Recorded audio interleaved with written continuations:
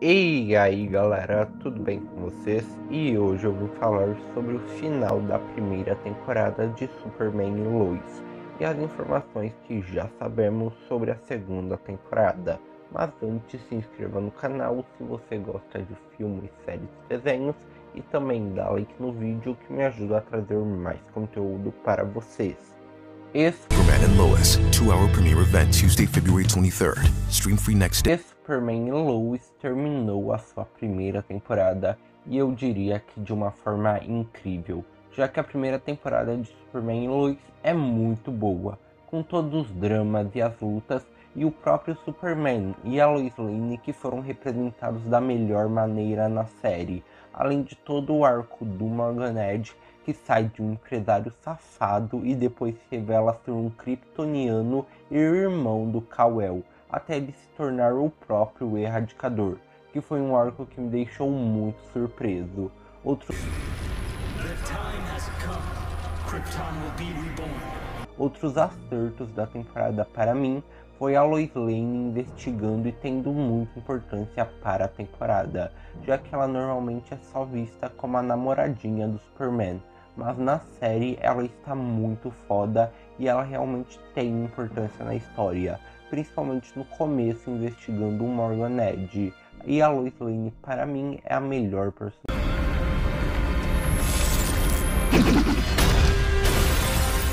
O John Irons também foi um grande acerto na série, principalmente quando ele se junta ao Superman e a amizade deles dois é muito legal de se ver. E a trama dele de vir de outra terra também é incrível. E eu também não poderia deixar de falar do episódio 12, que é quando o General Zod toma conta do corpo do Superman e fica nessa decisão de matar ou não o Superman por ele se virar contra a humanidade. E também nesse episódio, a Lois, o Jordan e o Jonathan pedindo para o John não matar o Superman é algo que te deixa tenso e faz desse para mim um dos melhores episódios da temporada, só ficando atrás para mim dos dois últimos que esses realmente são incríveis. Mas a season final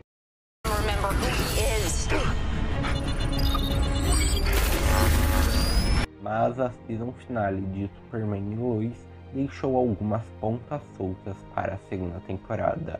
A principal foi a vinda da Natalie Irons para a Terra Prime, e eles precisam explicar como ela veio para essa Terra, já que ela chega através de uma nave.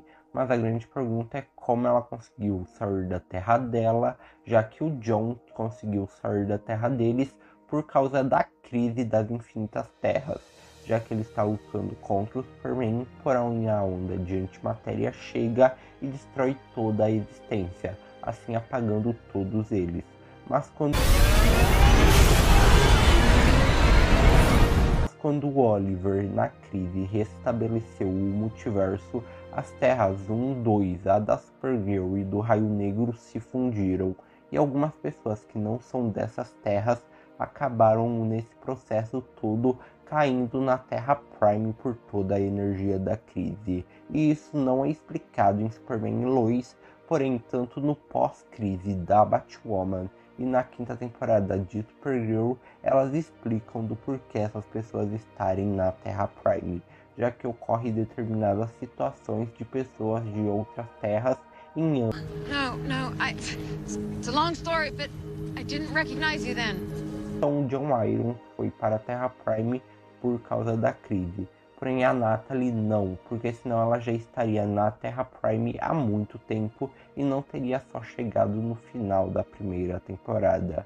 Então, eles precisam explicar como ela conseguiu viajar entre as terras. E eu acho que ela pode ter ido atrás do pai dela de propósito, já que de alguma forma ela pode ter descoberto que ele estava na Terra Prime. E também com a vinda da Natalie de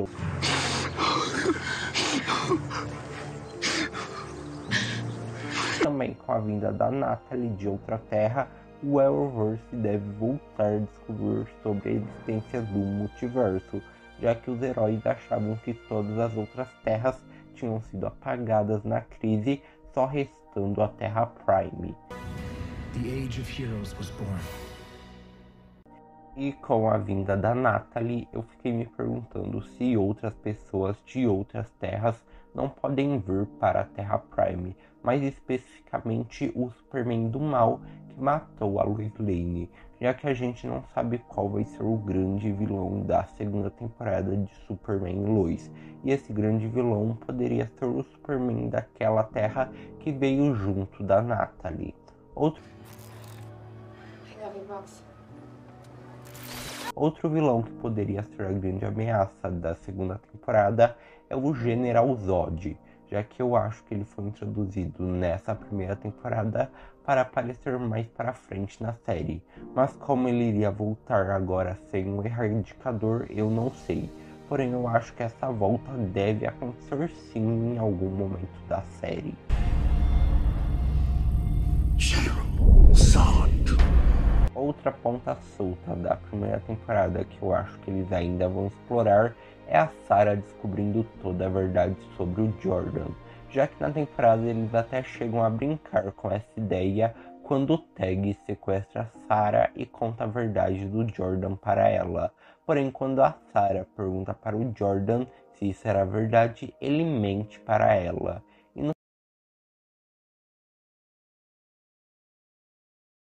E no final da temporada, a Sarah pergunta para o Jonathan do porquê o Morgan Edge pegou o Jordan. E ele deixa a menina no vácuo e não fala nada. Então, se ela reunir tudo que já foi falado para ela, a Sarah pode descobrir que o Jordan tem superpoderes. O que eu acho que deve acontecer na segunda. Why would he take Jordan? Superman Lois já foi renovada para a segunda temporada logo em março, quando a série tinha acabado de estrear, mas a segunda temporada só deve estrear em 2022, principalmente pelos atrasos que a pandemia causou na primeira temporada da série, já que normalmente séries da CW, como o caso de Superman Lois, eles costumam lançar duas temporadas ao ano, já que normalmente uma estreia em janeiro e a temporada vai até maio ou junho, que ocorre a season finale da série. Aí até setembro a série fica em hiatus para estrear em outubro a nova temporada, que vai ao ar até o começo de dezembro, que aí entra em um novo hiatus para voltar em janeiro. E isso é conhecido como Fall Season 2021-2022. Porém, Superman Lois só teve a season final em agosto, então não dá tempo da série voltar até outubro. Ou seja, ela não faz parte da Fall Season da CW 2021-2022 e sim parte Abandon the world. The world will always need. Também Superman Lois não tem mais horário na grade de programação da CW, já que agora quem vai assumir o lugar de Superman Lois vai ser os novos episódios da sexta e última temporada de Supergirl mas as séries da CW costumam voltar do hiatus em janeiro.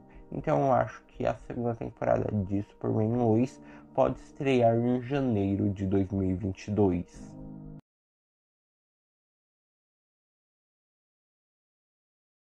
Mas a gente ainda deve ter Superman Lois ainda esse ano. Na verdade, na oitava temporada de The Flash, pois já foi confirmado que a oitava temporada de The Flash vai começar com cinco episódios de crossover com as outras séries do Arrowverse, o que deve incluir Superman Lois, já que ainda não foi revelado como vai ser o crossover.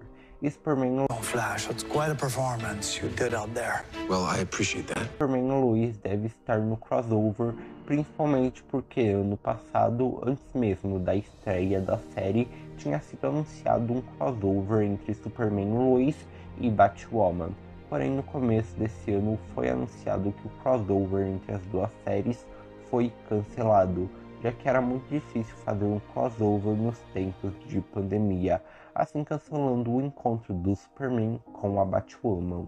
Superman. Right now this family needs you more. Mas agora o Superman vai encontrar com o Flash.